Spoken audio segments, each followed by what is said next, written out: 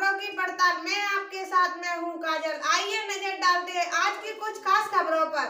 Corona जैसी महामारी के बीच जनता की आवाज़ उठाने वाले एवं जनता को कोरोना जैसी महामारी से जागरूक करने के लिए स्थानीय पत्रकार साथियों का समाज सेवी के द्वारा पुष्पहार देकर सम्मानित किया गया।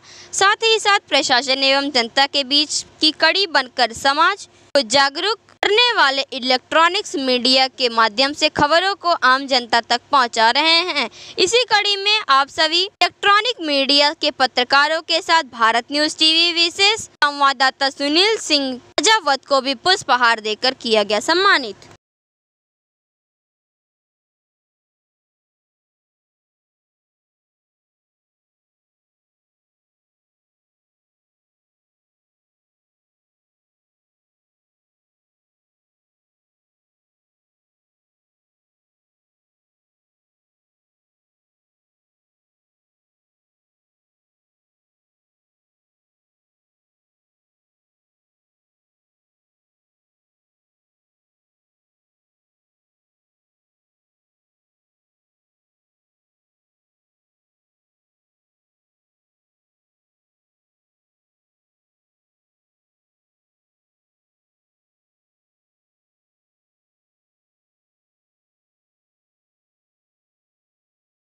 बाकी खबरों के लिए देखते रहिए भारत न्यूज़ टीवी खबरों की पड़ताल।